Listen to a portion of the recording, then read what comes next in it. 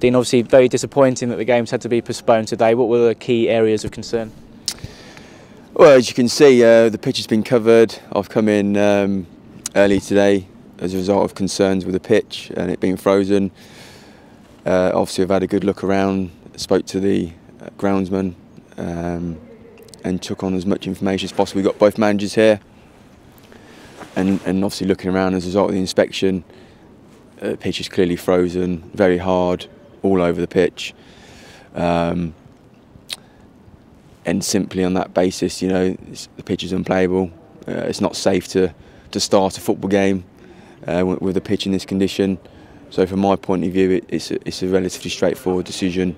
Disappointed, you know, I'm here, I'd like the game to go ahead, but yeah, safety of players, um, not going to get any uh, get any better certainly with the, the current temperatures and uh, yeah, game's off.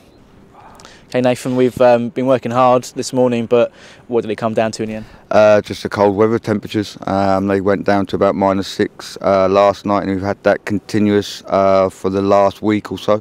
Um, pitch has been covered constantly for the last week.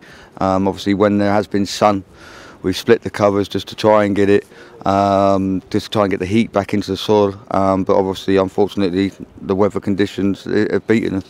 How long have we had the covers on? Obviously, before Millwall, I think we was the uh, first uh, time we put them. We put them on. We put them on straight after Millwall game, um, and then, like I say, we had to obviously turn the pitch around for this game today, which we've done, and then straight after that they were covered. Um, but we've got to obviously think that we've had for the last week minus fives every night.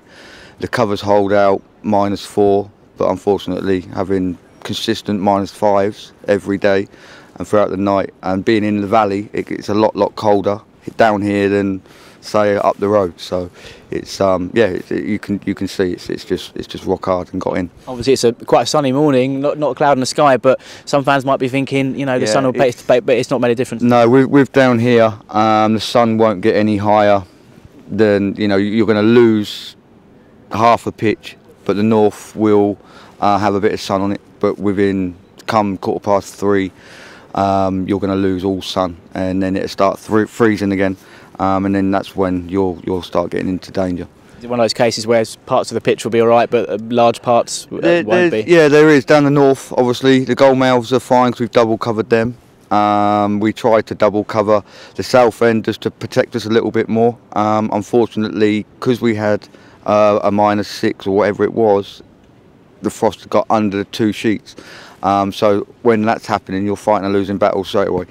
Um, but yeah, I, I, would imagine there are pockets of the pitch which, which, which are playable, but the south end is just not going to come out all day for the next couple of days, to be honest. Finally, Nathan, we've heard a few mentions about undersoil heating and, and a few misconceptions about that. Can you just clarify that? Yeah, it was a stipulation. Well, it was a stipulation that obviously when we had the construction done, um, we had to put the undersoil piping in just in case we were promoted to the Premiership, etc. Uh, it's a stipulation for the Premiership, and now obviously, if we didn't have that, we'd have to dig the whole pitch up again just to put undersoil heating piping in. Um, unfortunately, it's very, very expensive to run, um, and we haven't got the boilers. Obviously, we thought that the covered would be suffice uh, for now, and obviously with the temperatures that we've had, it's it's it's just it's just beating us.